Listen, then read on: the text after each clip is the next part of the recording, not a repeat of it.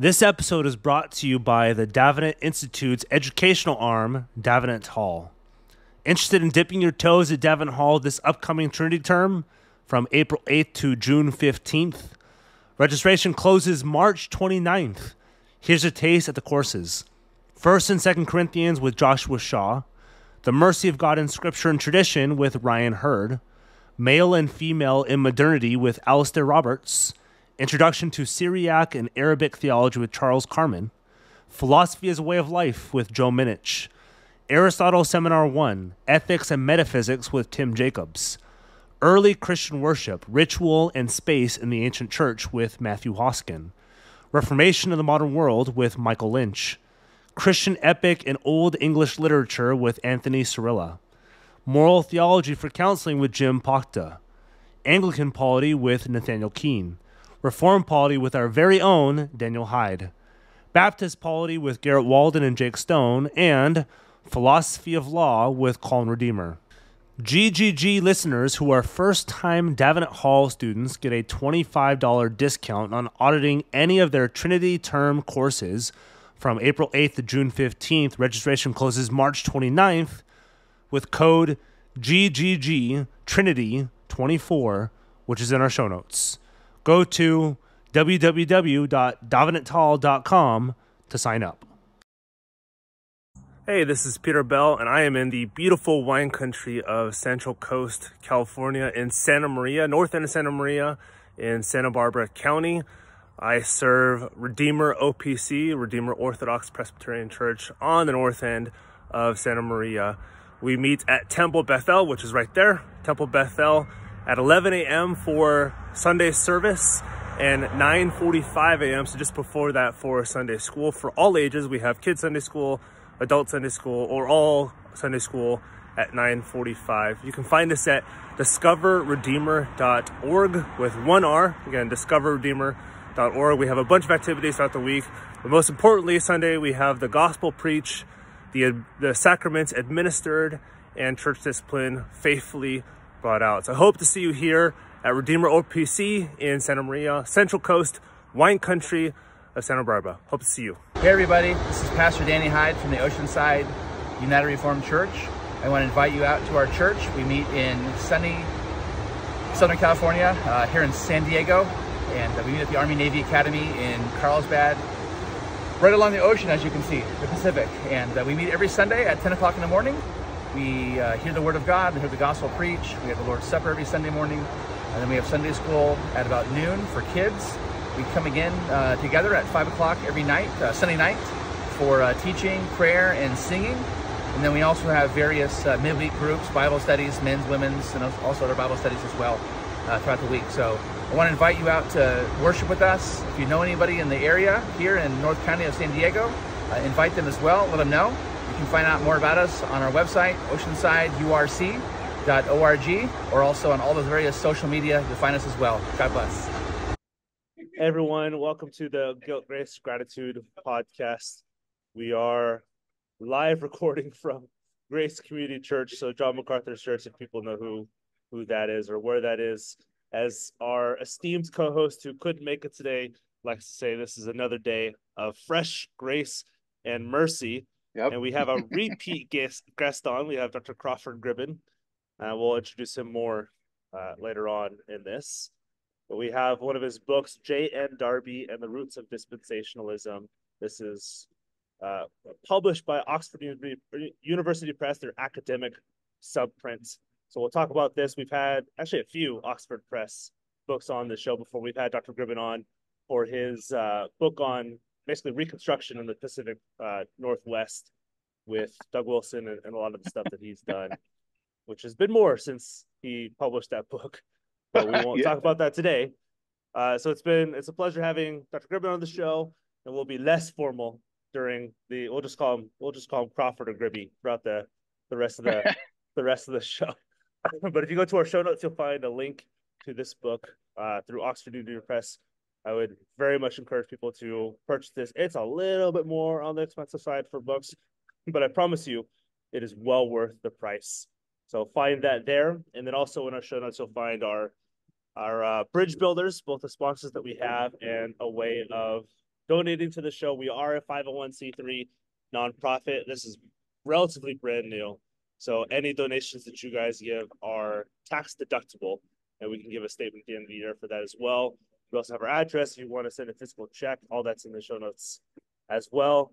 And we also have our NAPARC Church Finder, the North American Presbyterian Reformed Church Finder, where you plug in your zip code and you will find any churches that are within your area. And if I haven't missed anything, because this is usually Nick's thing, so I've had to memorize what Nick says at the beginning, so I could say at the beginning. We have Dr. Crawford Gribben. Last time I'll use doctor in front of his name, and we'll just we'll chop it up during this. But he is the professor of history at Queen's University Belfast. He writes about the religious history of Britain, Ireland, and North America, focusing on the literary cultures of Puritanism and evangelicalism, with special interest in millennial and apocalyptic thought, which is, I guess, a little bit more uh, a little more pertinent for this book overall. So thanks for coming on the show, Dr. Gribben. Thanks, Peter. Uh, thanks, Danny. Thank you very much. Yes. Yeah, and this is the first time that we have both Danny and I who are uh, who are tag teaming the book club. Usually it's Nick and I, or it's Nick, Danny and I, but it's just Nick, Danny, or it's uh, Danny and I talking to Dr. Gribben, who's yep. uh who's the uh, opponent on uh, Danny Hyde's dissertation, so we can have some fun with this. Yeah, yeah. Last time I saw Crawford, I had to call him learned opponent. So. the thing is, Danny, I only got through about half of my questions that day, so I was wondering start there. Yeah. this is actually just an opportunity for for Crawford to cross-examine you once again. We're not actually going to oh talk about the book. It's going to be all about your dissertation. yeah, surprise, surprise. just kidding. So, uh, Crawford, let our let our audience know a little bit more about Crawford Gribben beyond his academic bio. And I like the little email about you talking to your wife, like, what are my hobbies? So yeah, what what what is what does Crawford do outside of the academic institution? Yeah, th- thanks, Peter. I mean, was, you, you, sent the questions a couple of days in advance, and I was glad you did, so I could prepare something for this. But after two days, I'm still not really sure. Um, so I'm I'm married to Pauline. We have four children between the ages of 18 and nine. Oh, nice. Um, so we don't. I mean, I, I don't suppose we really have an awful lot of free time, you know, to to pursue hobbies. When I did have hobbies, I was interested in being outside. Uh, I, I liked steam trains, all of that kind of stuff. Um, but I mean, I suppose the, the only thing I really do apart from um, work, home life, church stuff. Uh, my dad is a farm about three miles away from here, and I suppose I spend uh, whatever time I have uh, there doing things with him. So I, I, really enjoy that. But that's I don't know if that counts as a hobby. Uh, it feels a bit. It doesn't feel like a hobby, but but anyway, it's it's worthwhile and good. Awesome, cool. Oh, I'm up. That's right. Daddy's right? up. Yeah, yeah. Well, I was gonna say I I empathize. I, I know the feeling. I have a 19 year old off off uh, at a university, and then uh, uh, 17 year old, 14 year old, and then a 11 year old. So, yeah, my wife and I are in the same boat. We just work. We we do family. We do church, and then we kind of crash on the couch. You got you got basketball as a hobby. You play basketball. Your son plays basketball. Yeah, yeah. You know, play. You play, play in baseball. Play some catch baseball and kind of stuff. Um, all right. So, uh, so Crawford, like, well, first of all, let me hold the book up since we didn't show people the book. Oh, this is yeah. Um, Daddy's doing Nick's job right now. He always puts yeah, yeah. I'm Nick.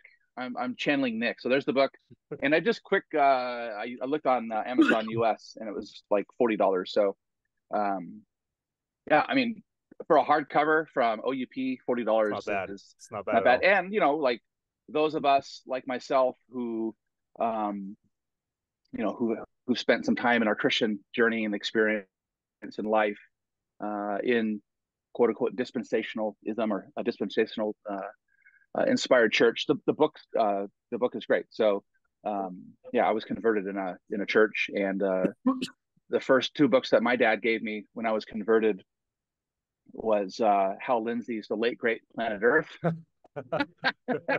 yep. right? Which uh, know, it makes an appearance to, at the know. end of uh, Gribben's book, so we get to hear about it a little bit there too.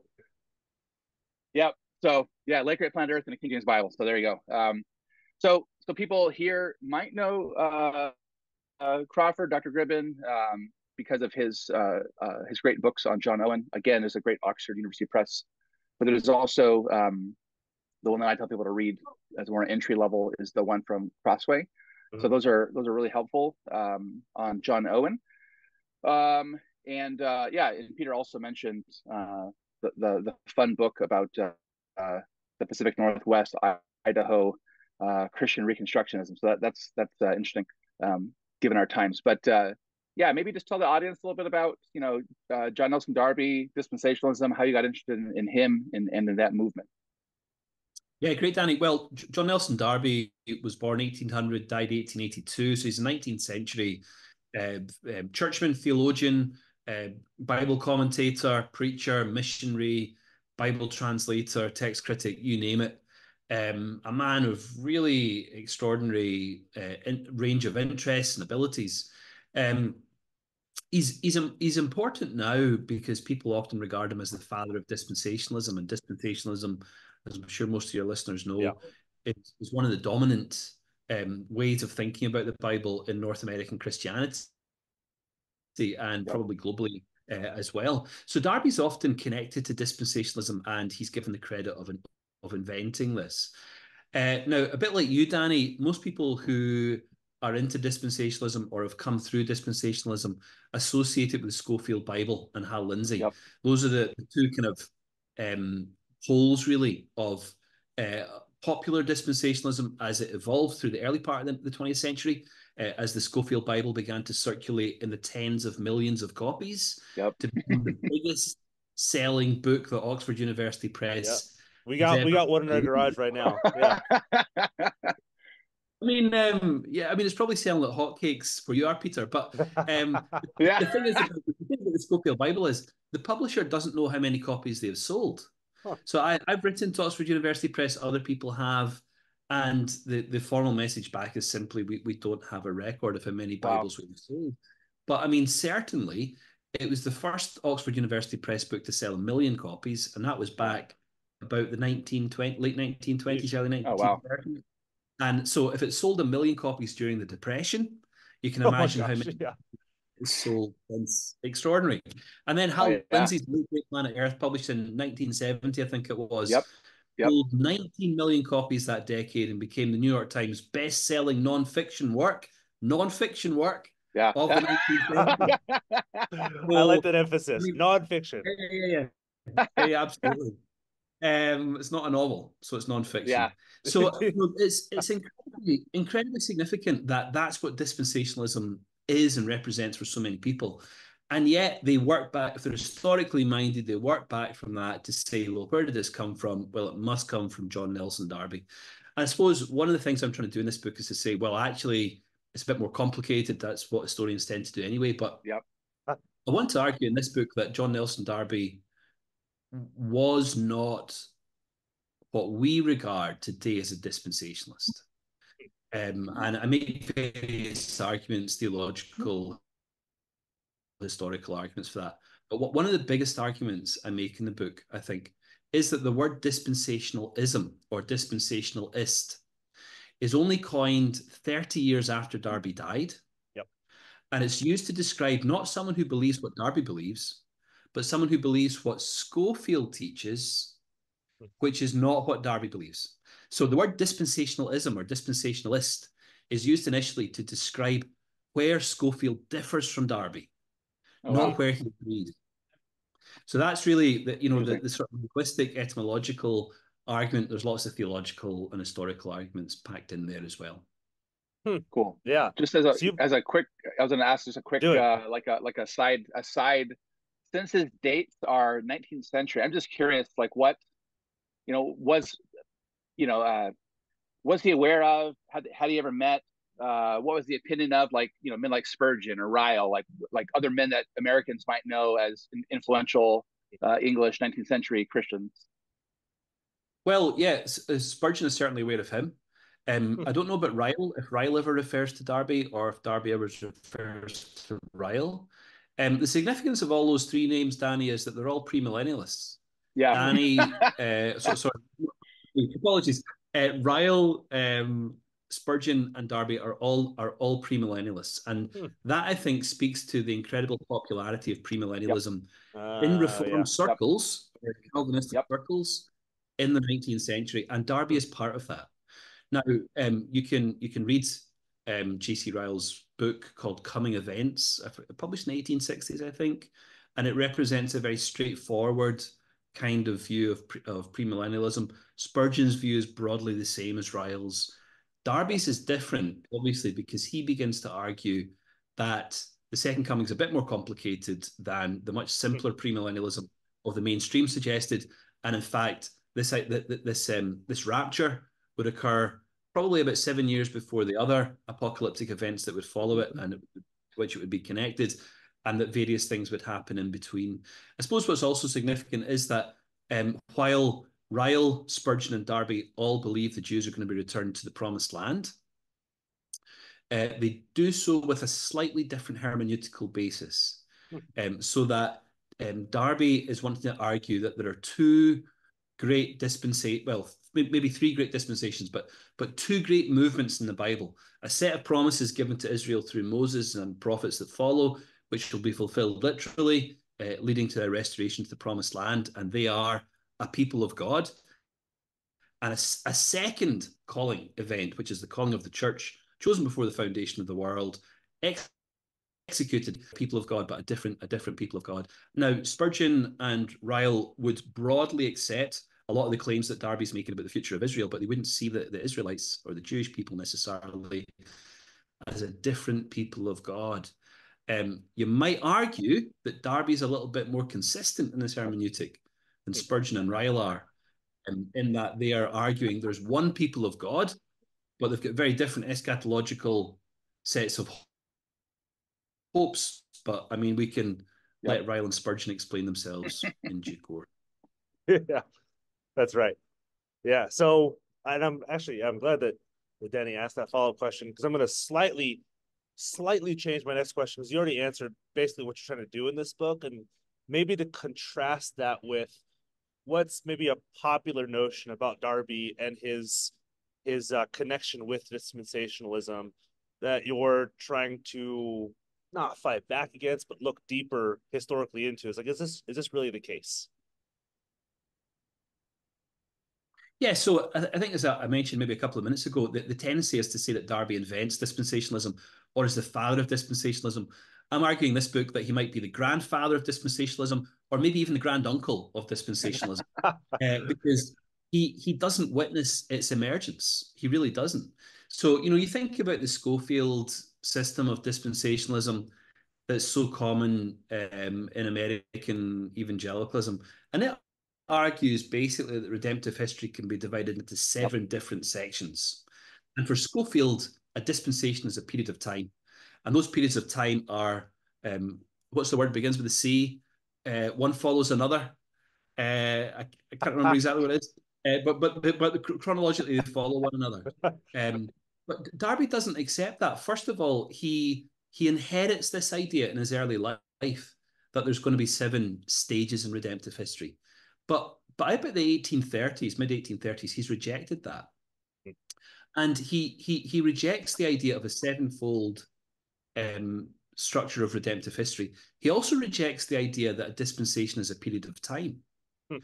So instead of consecutive, that was the word I'm thinking of, instead of consecutive dispensations, which are periods of time, Darby argues that dispensations are in fact concurrent, that they can exist simultaneously with one another, that they're not periods of time, but they operate inside periods of time.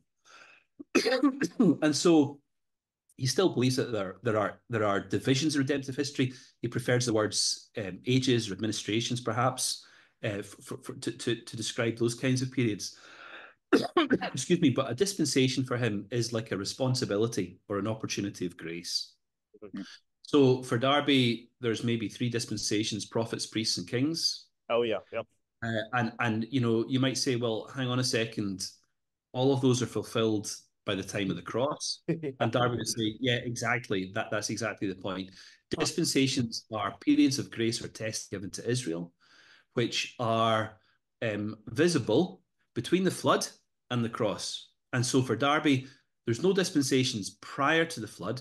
There's no dispensation technically, uh, using his definition after the cross, because the cross the cross is the great trial of humanity. It tries the spiritual condition of the Jews, it tries the spiritual condition of the Gentiles finds both wanting. So the cross is not is not only the moment of uh, salvation for God's people, it's also the moment at which God's verdict on humanity is made clear. Um, they've been waiting for millennia for this Messiah to come. When he comes, they kill him. And, and so for Darby, that's, that, that's exactly what the dispensations are for. They're to reveal um, Christ, I suppose, but they're also to reveal the brokenness and ruin hmm. of, of humanity. And once the cross demonstrates that conclusively, there is no real dispensation to follow.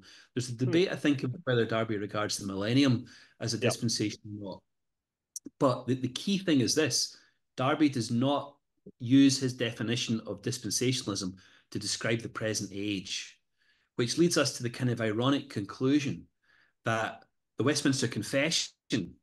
Tells us we're in a dispensation, but Darby doesn't and and and, and yet he is the dispensationalist supposedly. So um, you know, there's, there's, there's there's a lot more. I think there's a lot more complexity to Darby's thought. I mean, there always is. This is not a novel conclusion. Uh, you know, we we read these books about people, but because we never read the people themselves. Yep. But yep. once we start reading people themselves, Danny knows this. Peter, I'm sure you know this as well from your studies. Everything's much more complex. Yep. And so um, I, I think that um, both linguistically Darby is not a dispensationalist because the word doesn't exist. It's anachronistic to project it back. But also theologically, he does not fit the no. Model of a seven stage redemptive history. And crucially, although Scofield is really woolly on the question, are there two ways of salvation, one for yeah. the Jews and one for the Christians? Darby always says no. Mm-hmm. Always says no. There's only one way of salvation. It's always through Christ. So, you know, I, I, put these bits and pieces together of, of the jigsaw puzzle, um, and I, I, sort of, I suppose I began to uh, conclude that that maybe Darby was closer to the Spurgeons and the Ryles, yeah, than he than he is to the Scofields of this world. Yep, yep. That's my tentative conclusion. Cool. Yep. So, yeah, eschatology. Obviously, you've talked about that a little bit, and that's what most people associate with Darby. But in the book, you talk about other uh, topics of theology. So, uh, uh, soteriology, um, ecclesiology, pneumatology. So, doctrine of salvation, church, and Holy Spirit. So, tell us, tell us, tell us in the audience, you know, why why did you choose those as as chapters, as big kind of buckets of information about Darby's theology? Yeah, thanks, Danny. Um, is it's, it's a it's a great question, and I suppose one of the reasons why I I focused on those four things is because what Darby says, for example, about the Trinity or Christology is absolutely orthodox. Yep. So mm-hmm. you know, there's not there's not really a lot to engage with, maybe to surprise readers with. but as the bread, as Darby developed his thinking, and as the the the movement that he eventually came to lead or, or influenced in a very important way, a movement called the Plymouth Brethren, as that movement gradually coalesced in its thinking, um, those who were maybe more analytical in thinking about what they were doing tended to emphasize it was these four things that they, in which they made a distinctive contribution or a distinctive claim. So in Darby's early early life, um, he he grows up in the Church of Ireland. Uh, he gets ordained in the Church of Ireland as deacon and a priest. Becomes a missionary um, in Ireland, preaching in Irish, the Irish language um, eventually ends up um, being a missionary in French speaking Europe, um, moving later to the Netherlands, to Germany, um, eventually spending uh, the best part of seven, seven or eight years in North America before heading down to New Zealand, where he preached in Maori. So, a, a man of extraordinary abilities, but also always a theological thinker. So, uh, he's reading the Bible. Uh, as an Anglican clergyman, not yet an evangelical, so a very high Anglican, believing that baptism unites us savingly with Christ, uh, which he claims in one of his um, one of his earlier writings. Uh, Danny, you probably love all that language. Uh, you, you, you anyway, uh, he, he's, a, he's a very, very high churchman, a really high churchman, uh, who's, who's really attracted by Catholic tendencies that are within Anglicanism at that point. Um, and he has this accent the accent means he's he's basically lying in bed for three months and he's reading his Bible. That's all, he, and he's always really really intense. But he becomes even more intense in those three months of relative isolation, and and he begins to rethink his ecclesiology. And he, he comes to realize that an established church, suppose I better be careful who I say this to in the United States, established church is a really bad thing. Uh, and, um, and then he, he also becomes aware in that point that there are there, there are special blessings promised to Israel. He reads Isaiah 32, other passages. There's special blessings promised to Israel. How are they going to be fulfilled? And he becomes really unhappy with the hermeneutic, but he's been taught everything is kind of being Augustinized yep. and, and so on. Um, so so he he then really begins to rethink his ecclesiology, and uh, very very quickly he abandons essentially abandons the Church of Ireland as he becomes an evangelical. He moves from being a very high churchman to becoming a very high Calvinist. Hmm. And when he hits Oxford in 1830, 1831, he's hanging out with um, people who've been influenced by Robert Hawker. And Robert Hawker, who's based out of Plymouth, uh, was an extremely high, arguably hyper Calvinist uh, within the Church of England who taught that believers were not under the law for their sanctification. Mm. So, in some ways, what Darby is doing in the 1830s, he's, he's drawing down some of the legacy of this high, high Calvinist tradition or hyper Calvinist tradition, perhaps, in the Church of England. And so, those two themes then, ecclesiology and soteriology, become absolutely central to his early thinking. So, he's a red hot Calvinist um, right away through the 1830s into the 1840s, he's preaching the covenant of redemption. He's preaching election to salvation. You know, all the kind of standard yep. things that that we would expect um, a properly informed uh, Bible reader to, to, to He is preaching, and um, and you know even when he gets to to Geneva, Lausanne in the early 1840s, kicking up a storm in the churches there. Uh, there's published complaints about him about his eschatology, wow. his ecclesiology, and so on. Mm-hmm. They never complain about his soteriology. Completely happy with that. Mm-hmm. Uh, so he's operating within very normal um, Cal, Cal let's I'll, I'll say Calvinistic rather than Reformed terminology, um, yeah. and, and that's it. Now, as things develop, the, the Brethren movement suffers this massive crisis in the late 1840s uh, over really over the question of Christology and um, church discipline. And up until that point, the Brethren movement's been this really kind of loose, amorphous yep. um, movement, not really a community. It doesn't really doesn't really have tight boundaries. It's got people in it like George Muller, very saintly man, um, who's on the opposite side of of Darby and this thinking about church discipline, because the, the Muller faction believes that every um, individual congregation should be autonomous mm-hmm. and make its own decisions about church discipline. Darby, as a good um, Episcopalian refugee, um, disagrees with that and says that really um, congregations should make collective decisions about discipline. And that's really where the division in the Brethren happens in the 1840s. And after that happens, Darby is really given a free hand because up until that point, he's been constantly having to debate his opinions and ideas in uh, a movement that, that thrives on debate yep. rather than conclusion after 1848, he's in a much more supportive environment. He becomes the dominant voice. As he becomes the dominant voice, um, these other trends in his writing um, and in Brethren thinking become much clearer. So he begins to develop a much clearer claim about uh, the doctrine of the Holy Spirit.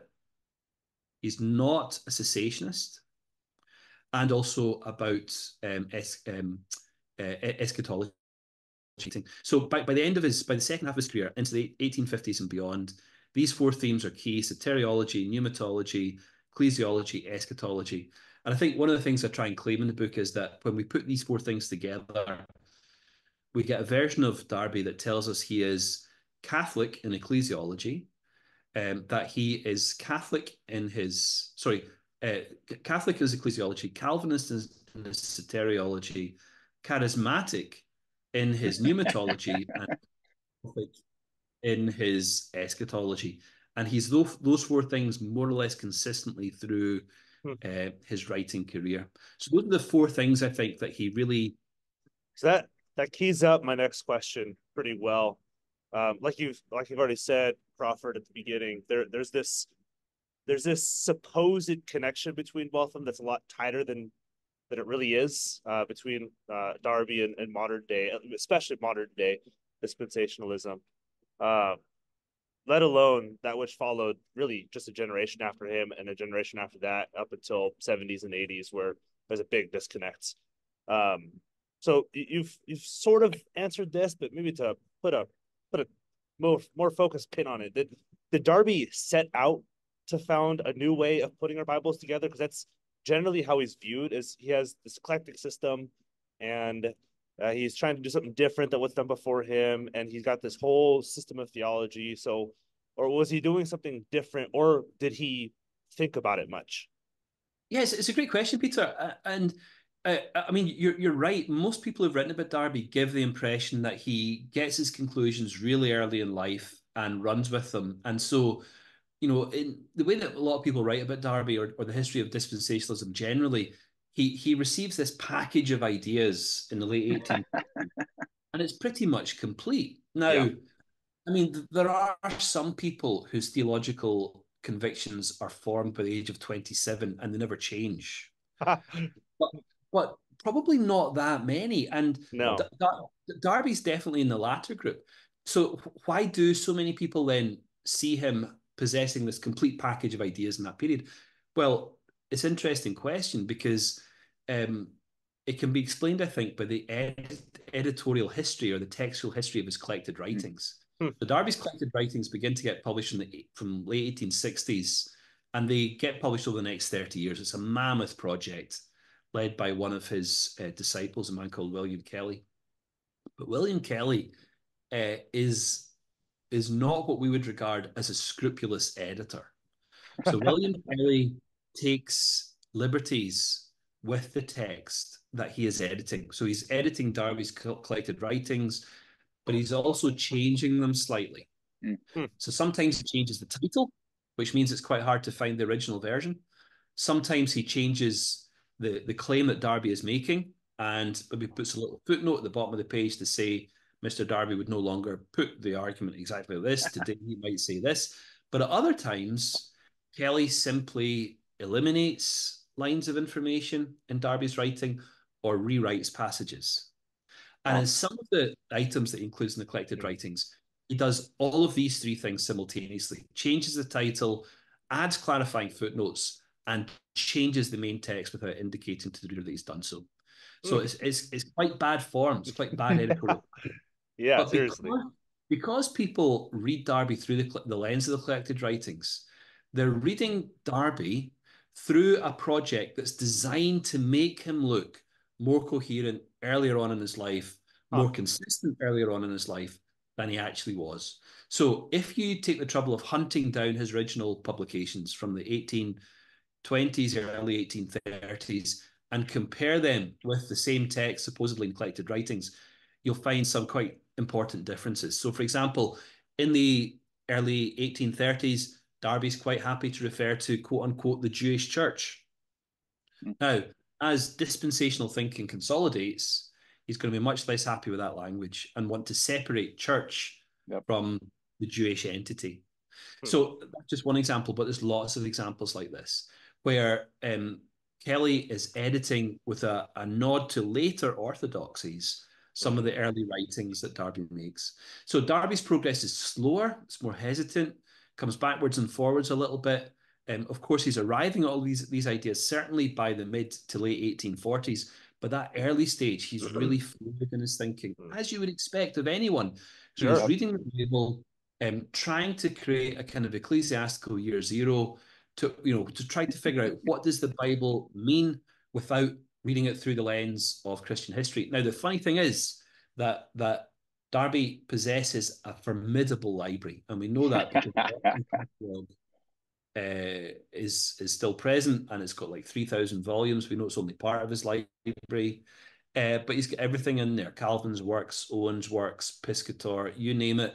Um, tons of uh, patristic stuff, tons of critical editions of the New Testament. I mean, it's a serious scholarly library, and he and he really knows it. He really mm. knows it, but he hardly ever refers to any scholarly sources as oh. he builds his case. Now, there's several reasons for that. Number one, I think he's temperamentally um, unhappy with saying, I'm getting this idea from John Owen, but sometimes he will, but he doesn't generally want to do that. Other times, uh, I, I, think um, he's, he's often also traveling. You know, he's, he's a man who doesn't have a home of his own until maybe months before his death. Mm-hmm. So for for the you know for the period really from the late 1820s when he's in his late 20s until he's in his late 70s, he's continually traveling. Now he's got a friend in London called George Wigram, who has a big house uh, and he reserves a room in it for Darby's books. And uh, in his letters to Wigram from all over the world, he's constantly writing back saying, "Can you look up such and such a paragraph?" It's about some you know obscure medieval controversy about the papacy it, um, it's on page 23, you know, second line down or whatever. So he's got a brilliant visual memory. Yeah. Uh, but he's traveling without them. And he's so, so wow. a lot of the time when he's writing, he's writing on the move. Um, mm. He's reading on the move, but he doesn't carry many books with him. He's constantly. So there's borrowing. some practical reason for him not citing and footnoting a lot of this stuff too, because he yeah. doesn't have it around so, him. So exactly. So he's re- he's read the books. He's got the books. He's read them. He knows how to use them. He uses them a lot, but he's constantly traveling. Yeah. Uh, and as a consequence, you know, he's not able necessarily to, to do the footnoting that we would have loved. So, you know, you do find him mentioning um, Calvin, you do find him mentioning um, Puritans, you do find him mentioning patristics a lot. He, he loves the fathers, he, he, he, uses them a lot in his writing. Loves the Athanasian Creed, says it's his favorite creed.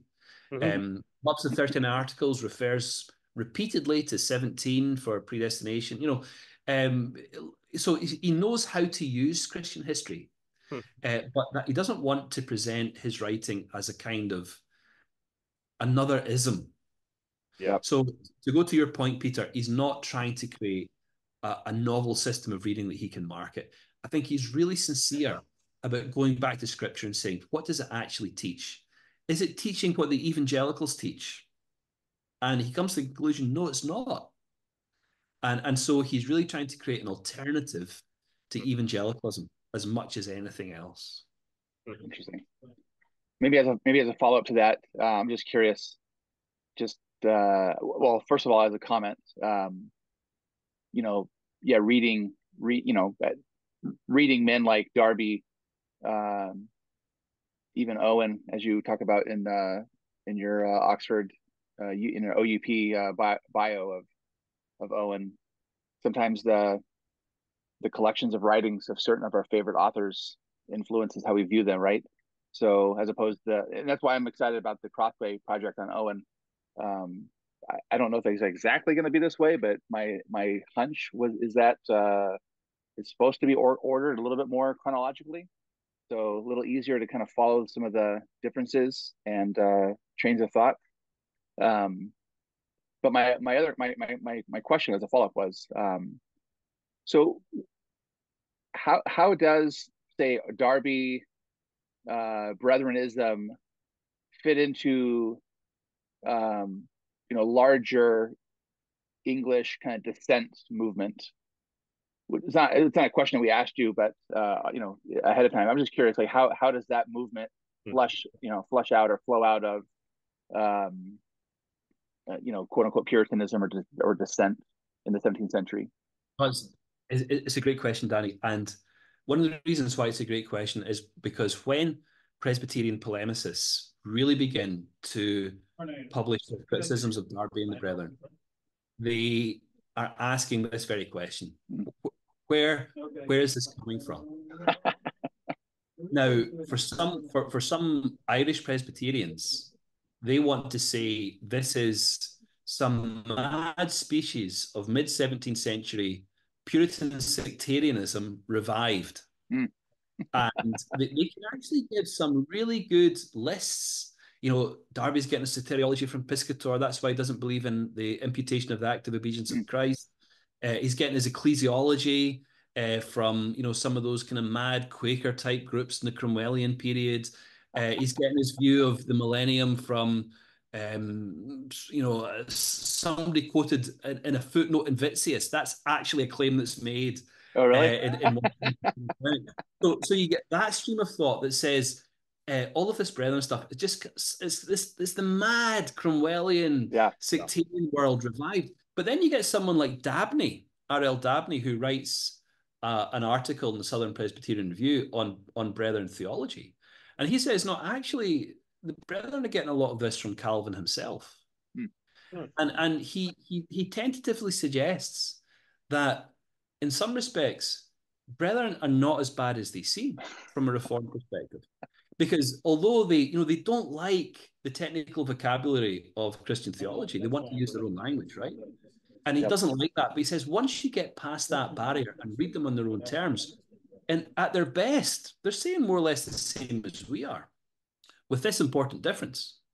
Um, we don't believe that assurances of the of the essence of faith, Westminster Confession. Yep. Arguably, Calvin does. And so when they when when the brethren are making that kind of claim, which might or might not be an accurate uh, reflection of the brethren claim, he says they're actually closer to Calvin than the Presbyterians.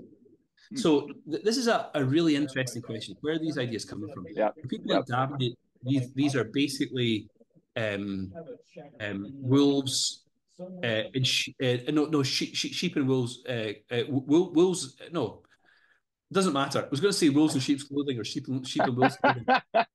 But you know, for for for people for the Irish critics, the Irish Presbyterians, these guys are really dangerous. Uh, Yep. But for Dabney, they're not really dangerous. They- They're, they they need to be qualified and, and corrected, but not fundamentally wrong in the way that another set of Presbyterian critics believe they might be. So, I mean, I, I, I, my own hunch to go to your point, Danny, my own, my own hunch is that there's very little in Darby's thinking that hasn't been heard before. I Hmm. think what makes his, uh, what makes his contribution really interesting is his arrangement of these pre-existing ideas. Yep. Uh, Yep. and and and so you know he, he is making a distinctive claim but the or in a way you can almost read darby as ticking off a whole list of minority positions within the Mhm. reform Mhm. and and what do you do if you if you go down the roads not taken Mhm. Yep. but but which are held by you know respectable reformed theologians what if you take roads that the movement or the community or the, or the churches the confessional tradition as a whole doesn't take you end up i think with J.N. Darby Interesting. That's a good point. No, yeah, it's also yeah, it's always fun to you know reading things historically to see how you know history. As I tell my own kids, you know, history's a mess. Um, people aren't, you know, as we as we understand, you know, here we are in this election season right now here in the states, and so you know the the party names and the and the, and the labels that are given, um, they're always oversimplified. Mhm. You know, in our especially here in the states, you know, everything's a binary, right? So Oh yeah. um, but yeah, you, you know, when, as Christians, you try to analyze history and just realize it's a mess. And um, yeah, it's, it's you know, and read people on their own terms and let them speak for themselves. So how how does um, or how did Darby uh, you know navigate you know his own sort of complicated uh, you know eclectic understanding of theology um, you know feel you know calvinist somewhat calvinistic you know on some parts um uh, high church uh, in other parts you know, how, how does he navigate or how did he navigate kind of the two different worlds of you know more mainstream reformed theology versus uh you know this dissent kind of dissent uh movement um you know in his own time. And then how does that input in, influence and impact you know later on like the movement itself after him his, his grandkids? Yeah so D- darby D- darby sets up um, a lot of these ideas that he really requires other people to articulate and defend Hmm. so he's he's quite he's, he's, he's quite a busy thinker he's a very active thinker uh, he's very poor at expressing himself on the page yep. which- which is actually one of the reasons why Kelly and others have had to work so hard to edit his writing. You know, True. to True. give those guys credit, um, he is very, very hard to read. Um, Tying too many loose ends on some of the editorial process because he is hard to read, like you said. yeah, uh, yeah. I mean, there's sentences that are incomplete. I mean, it's just it's just extraordinary. Anyway, um, he to restate his ideas and defend them. But the the problem is that means that he gives control of those ideas to those who do articulate them and defend them. Ah, yeah And so what happens is even someone like Will, William Kelly, who edits his collected writings, ends up um, developing, changing uh, Darby's thinking in some very important ways. So Darby is a good Calvinist, believes that regeneration, or as he prefers, new birth, comes before everything.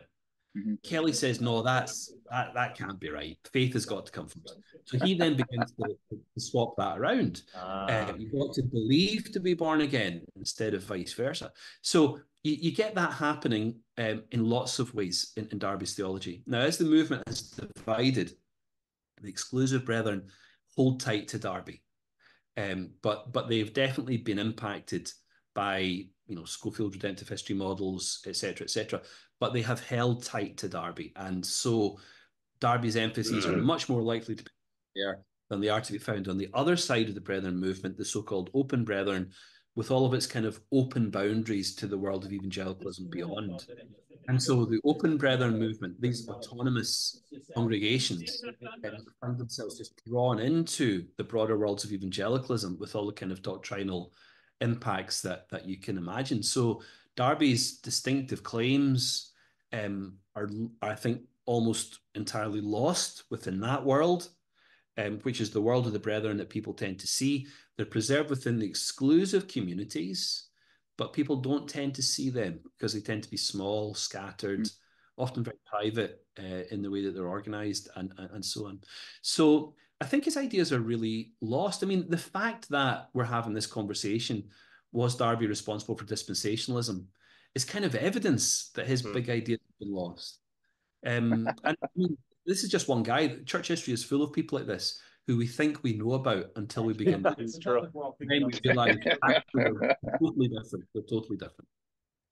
Yeah. So it maybe sounds like the what, what you were talking about, the ideas that he picks from different branches, uh, whether minority or majority, and then doesn't like I mean, I think from him, like you talk about in the book, doesn't intentionally sets out not to create a holistic system, but then that opens the door for others to kind of pick and choose what they want and then create a system after their own image. And then that's read back into Darby, what people think exactly. the Darby believes. Exactly, exactly. So, you know, D- Darby goes to America from 1865, um, moves initially in Canada into the United States, um, gets incredibly frustrated that people like James Brookes in um, St. Louis or St. Louis, I forget how you say it, St. Louis. Yeah. We say we say St. Louis. Yeah. yeah okay. well, but we're not St. Louis here, so I don't know if that's actually how you say it. St. Louis. Yeah. yeah. meet, meet me in St. Louis or St. Louis's. Um, but, um, so, so you know, he, he just finds all of these people, all of these really credible Presbyterians, um, taking up his eschatology and ignoring everything else that he hmm. says. and that, you know, that that in a way is how the Scofield Bible gets created, of course, because D.L. Moody and Darby do meet and they fall out because Darby believes in total depravity and D.L. Moody does not. And they're yep. having a Bible reading on, on some kind of platform, and Darby dramatically, after frustration, slaps his Bible shut and says, I've come here to provide arguments, not intelligence and, and you know leaves the stage with D.L. Moody just wondering what on earth happened, I suppose. But um, but but but so so Darby's ideas are sort of cherry picked by people like D.L. Moody, but D.L. Moody through his conference stuff influences people like C.I. Scofield. So C.I. Scofield gets set up by some mysterious financiers, the conspiracy theorists. Yeah. um, the Illuminati yeah, perhaps. Yeah. of course. But, yeah, and, um, and and he does his thing. But you know that that's really how we get from Darby with his much complicated, nuanced set of claims to the much more kind of straightforward, simplistic, reduced claims of the Scofield Bible. So one of the things I'm trying to argue in the book is that dispensationalism as a word is actually a word coined to describe the reduction and sometimes contradiction of Darby's ideas Mm-hmm. not Darby is themselves. Yeah. Yeah. Yep. So my last question before Danny's last question.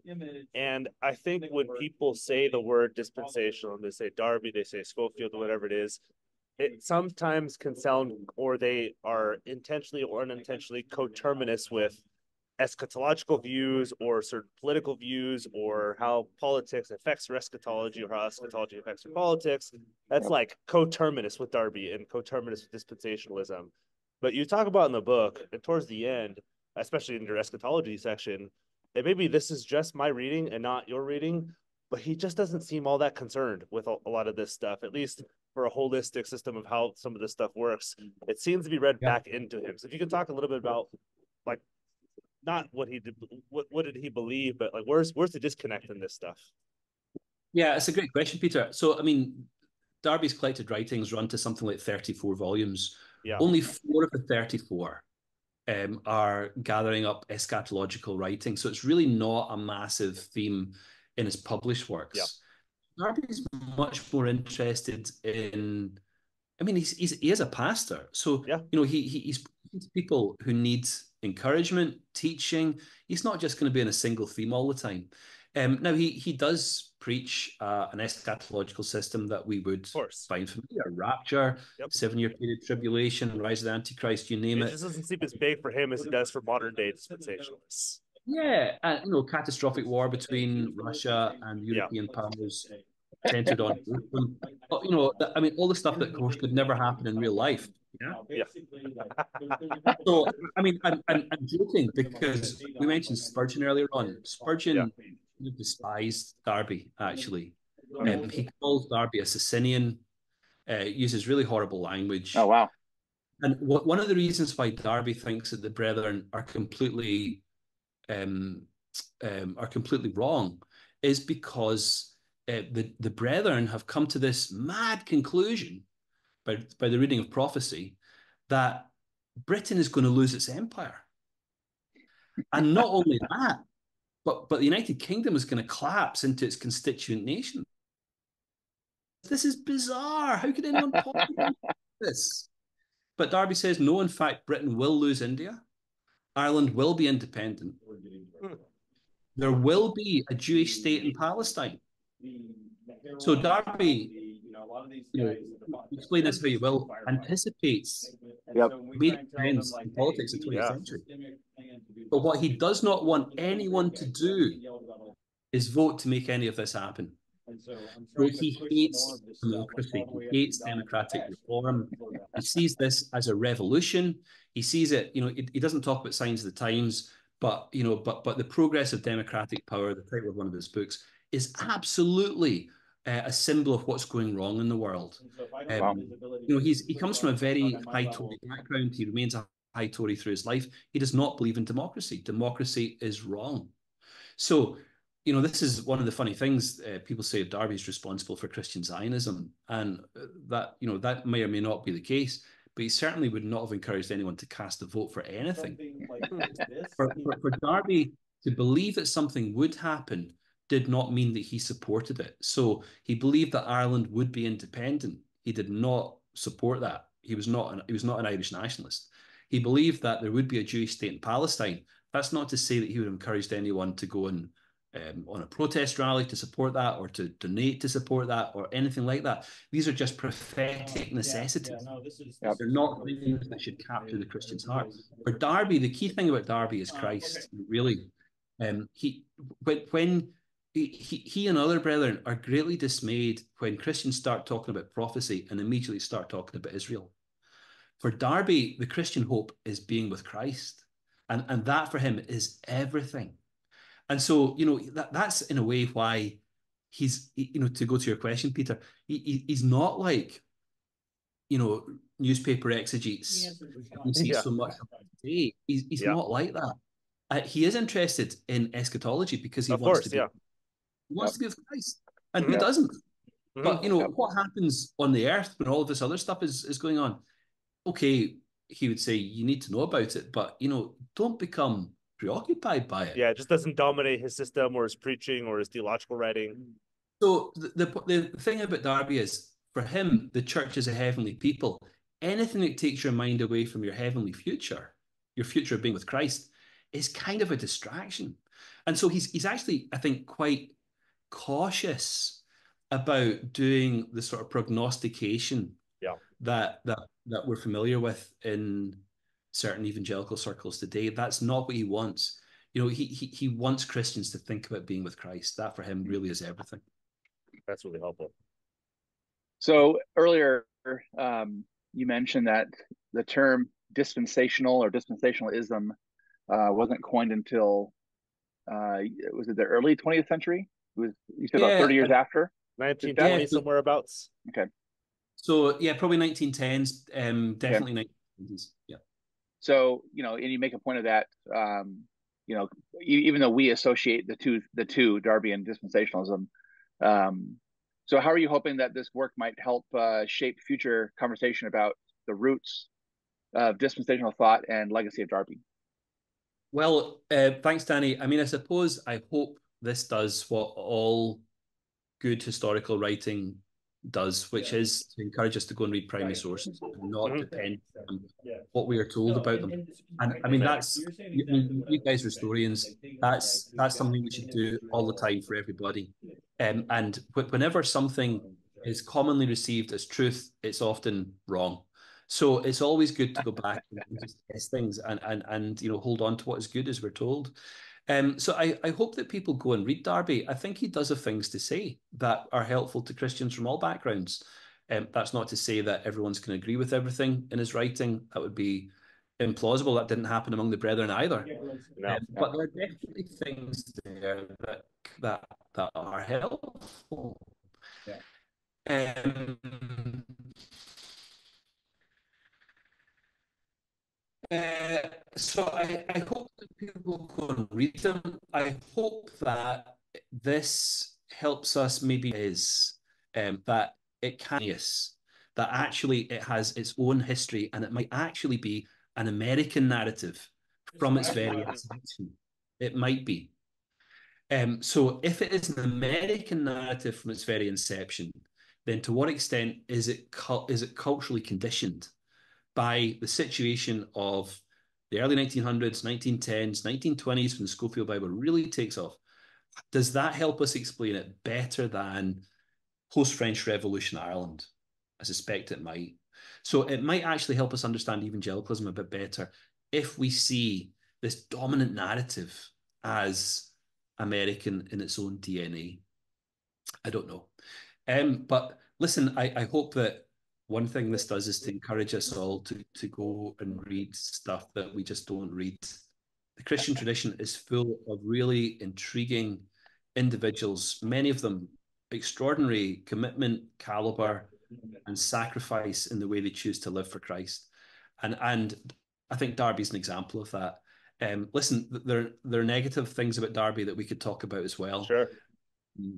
Um, yeah. but we haven't asked any of those questions. That's absolutely fine. Uh, so, so, you know, let's let let's let's focus on what's great, and there are certainly things that are great uh, in him, in the lives of many other 19th century people. The internet is making it so easy now for us to read 19th century sources. So, you know, let's go do it. Let's see what we can discover. There's going to be lots of surprises. Yep. Yeah. That's good. If anything, too, like what you're talking about with Darby, it was a little point, but it's bigger in the book, which we didn't really touch on just because I wasn't sure how to uh, attack it because I'm not great at it. But Darby is like a pretty serious textual critic. He's he's got the Greek New Testament on lock. He's going through. I mean, he, when he produces an edition of it, he got all these critical apparatus. He's got all of his notes on this stuff, and it's it's it's relatively good. Um, but that's that's one thing I like. I had no idea Darby had this background, um, which it uh it gives you sort of a new a new look at him and the serious scholarship he's trying to actually he's not he's not just some random dude off the street. He's like i got no idea for his theological system. He's he's actually pretty stinking well trained. He's not theologically like robustly well trained but he's got a classical education. He's got greek in his background. That was that was interesting just on the yep. front end to learn about some of that stuff too. Yeah yeah. Yep no definitely yeah definitely amazing uh you know american dispensationalism you know which is uh you know the land of the or at least in some respect the land of the uneducated. Yeah. You know it's just it just sounds uh, yeah, like finance, an entirely different beast from what darby had uh, financiers and it's a business opportunity and you know bible yeah. conferences you know speaking engagements you know moody and this kind of stuff versus uh, an actual scholar. Yeah. No, that's who's doing this has been criticism yeah this has been a helpful conversation i really hope this has been a helpful conversation for those who are listening uh, who are curious about the system, curious about its founders, um, yeah, curious about how it was developed, but also just some some uh, clearing up of some misunderstandings or some assumptions about this. And like I said, going back to the sources, seeing what they say. And, you know, they may not be as clean as you want them to be or as cohesive as you want them to be, but that's what we got from Darby. So that's what we got to read. And you can't, like, like I said, editor did, we can't read too much into it or try to blend into the system that we want. You gotta, you gotta read him for what he is. Um, so Dr. Gribben, thank you so much for coming on. Thank you for writing this book. This is our second time with you on, and it's been a pleasure talking to you about this. And I, I heartily recommend people uh, pick up this book, read it, especially so if you're you're American and dispensationalist adjacent or just curious about it, like we are. This is a book I really recommend for those who are looking, like you said, to the roots of it. Where does it come from? Who's its grandpa? Where do like where do we where do we go from here? So thank you so much for coming on the show. Thanks, Peter. Thanks, Danny. It's good to see you both. Yep. Yep.